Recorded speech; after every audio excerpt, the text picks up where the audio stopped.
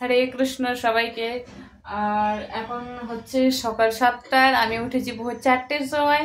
ভোর চারটের সময় আজকে সকাল সকাল ভগবানের পুজো দিয়ে দিয়েছি, দেখতে পাচ্ছ। খুব সুন্দর করে আমি ভগবানের জন্য একটা মালা বানিয়েছি। আর সোমবারটাই হচ্ছে লাস্ট লাস্ট সোমবার ছিল।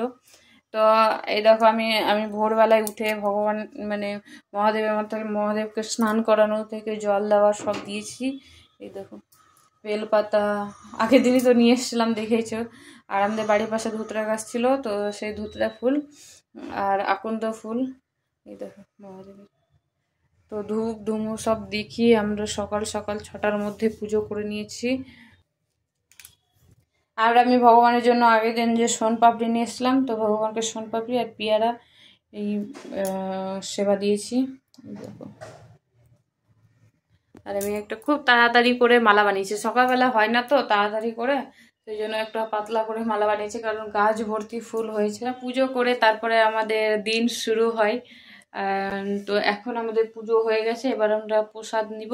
প্রসাদ নেওয়ার পর তারপরে নিচে গিয়ে চাটা তো তোমরা সকালে উঠে সবাই কি কি করো সেটা অবশ্যই কমেন্টসে জানাবে। সুন্দর লাগছে কারণ সকাল সকাল পুজোটা হয়ে গেলে না খুবই ভালো লাগে।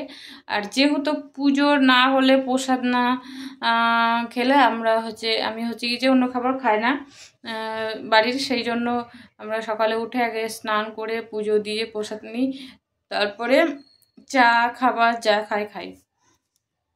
এটা হচ্ছে সকালের কাজ। আমার ভীষণ ভালো লাগে সকাল সকাল উঠে। যত সকাল সকাল উঠে পুজো করব, তত আমার ভালো লাগে। একটু দেরি হলে কেমন লাগে সেই জন্য আমি খুবই চেষ্টা করি ভোর ভোর উঠে কাজ টাজ করে, স্নান করে পুজো করার।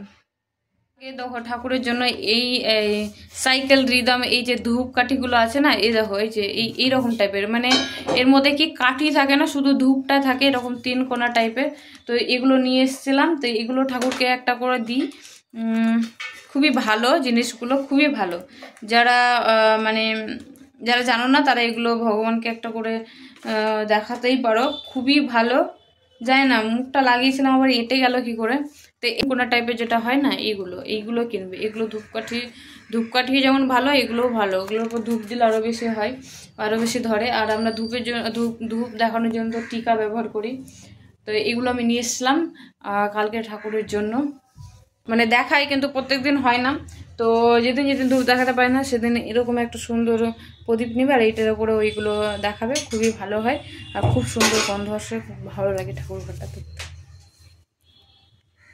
তো ঠিক আছে, চলো এখনকার মতন টাটা।